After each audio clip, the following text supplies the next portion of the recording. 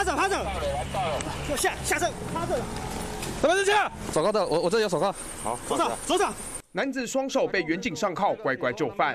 我要偷人家车。路口监视器录下这名双手插口袋的李姓男子，二十五号晚上八点多，在桃园一处路口盯上路边临停的小黄，趁着问讲下车买东西，钥匙没拔，打开车门当街开走。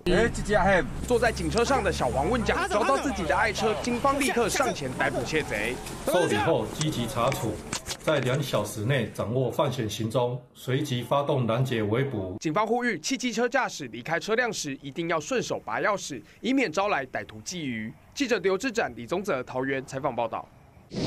免疫力会降低，然后我们说睡觉是美容觉，女生睡不好，这真的是不止脾气差，皮肤也会变差。旺旺现在推出了一个新产品，叫做梦梦水，独家的配方呢，可以启动入睡的关键。怎么买呢？来 Q R code 快点购，扫一下。